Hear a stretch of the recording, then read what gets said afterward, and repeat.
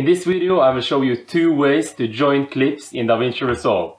You're watching Video with Jens and I upload weekly videos about video stuff. So let's get to it. So the first method to join clips, let me go ahead and split this clip for you.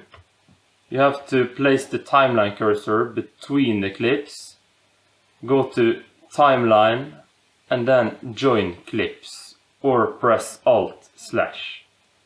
And there you go. However, this method only works when it's the same clip and it has not been uh, trimmed or anything.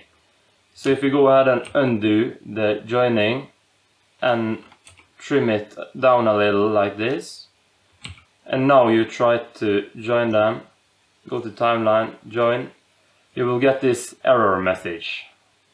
You cannot join two clips either this way.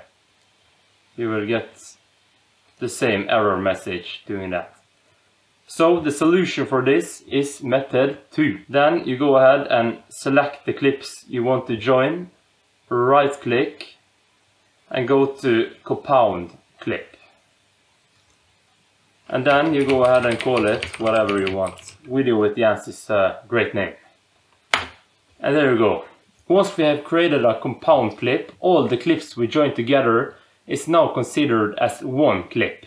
Which means that the first method now applies to the compound clip as well. So here is where we join the two clips together. If we go ahead and split this and set the timeline cursor in between them, go to timeline, join clips, this will now work again. I recommend you watch this video where I show you how to edit in DaVinci Resolve where I will be focusing mainly on the edit page and give you a better understanding of the tools inside it and just make life simpler for you. So check it out and thanks for watching.